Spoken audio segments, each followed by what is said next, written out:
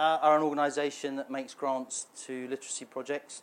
Siobhan was a wonderful writer who um, burnt um, like a shining meteor. She left her royalties on the books to the trust to fund activities such as getting books to kids who wouldn't otherwise get them. So it's it's it's uh, it's all about books for Siobhan. It's all about story. I always wanted to to do this lecture. I thought it would be a wonderful way of remembering Siobhan. So I'm going to hand you over to Matt now, and, and he will take you to places you've never been before.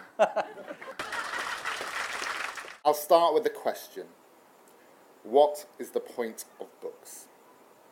I mean, if an alien from the Andromeda galaxy came down to Earth and, after inquiring about clothes and the Kardashians and motorways and the Great British Bake Off, then asked us what a book is for, what would we say? I'd then tell the alien what I now know to be true.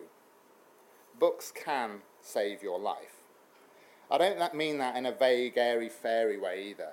I don't just mean that books can enrich your life or make it a bit more valuable or help you impress your friends, but they can, of course, do those things. I mean that books can actually help keep you alive. Let me explain. When I was in my early 20s, I suffered a breakdown.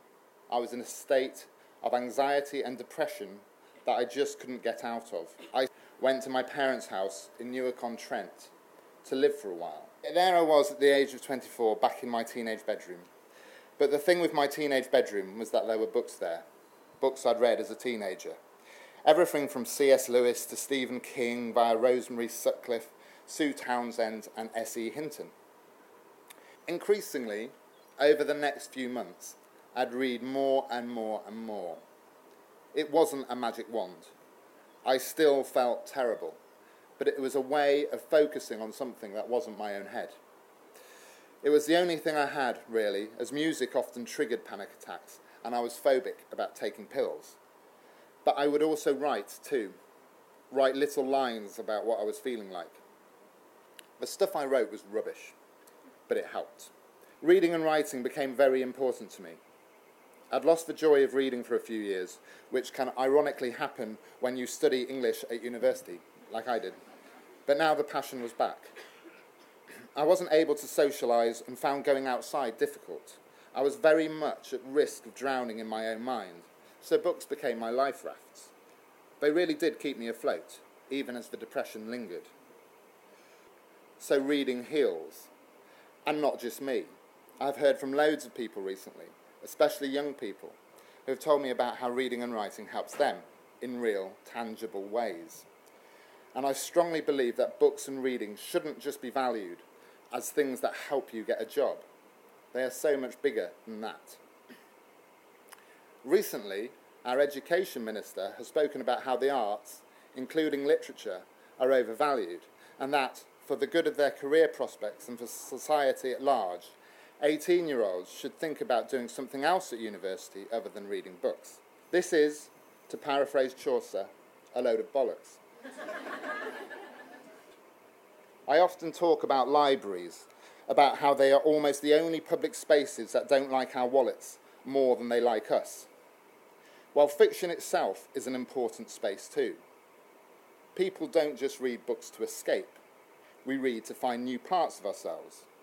We think we're in this one room house. Books make you realize you're a mansion.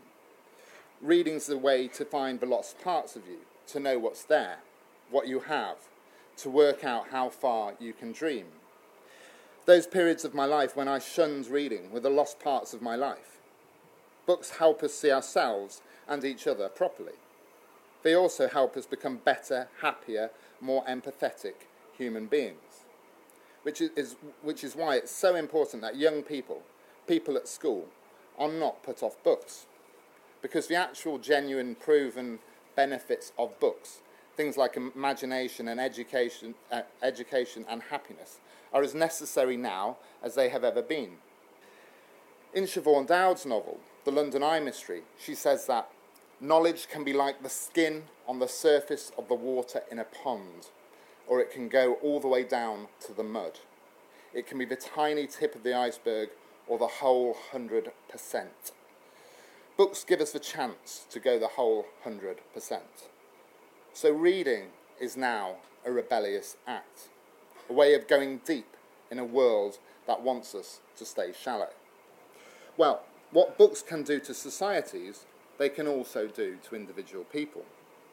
Whether it is fiction or non fiction, books can change you, and change you more profoundly than any drug in existence without damaging your liver. Books are one of the fundamental things that make us feel human. They are maps helping us locate who we really are. We must never sideline books or trivialise them or see them as a nice little middle class luxury or GCSE the life out of them. We should never let this or any other government put any barriers between a human being and a book. Books are for all of us and for every stage of our life. We should be faithful to them in sickness and in health because they will always be there when we really need them. They are the still centre in the whirlwind of modern existence. They can help us and they can change us and make us better people. They help raise us, they sort us out, they can become our friends, they can be our medicine. They might one day even save our lives.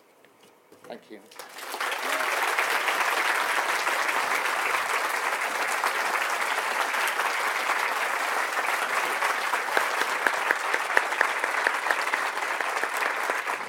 It was fantastic. It was a couple of moments that were really quite emotional in what he was talking about. Um, I work directly with people who are living with thoughts of suicide and um, different mental health problems and could really relate to a lot of what he was saying.